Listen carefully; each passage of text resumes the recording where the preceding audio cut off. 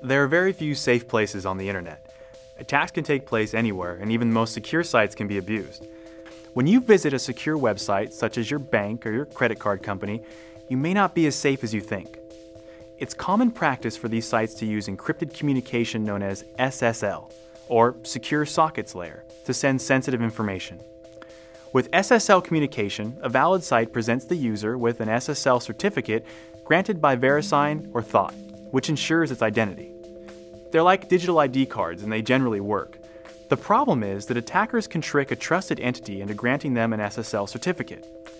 One way they can do this is by simply inserting a special character into the site's domain name.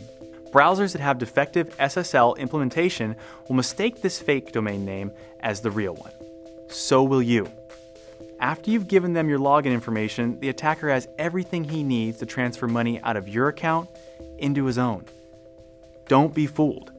Intrusion prevention software Blade by Check Point spots these fraudulent domain names and immediately drops the connection. Be warned, stay protected. Check Point's intrusion prevention solutions guarantee high security with constant updates against all sorts of emerging internet threats.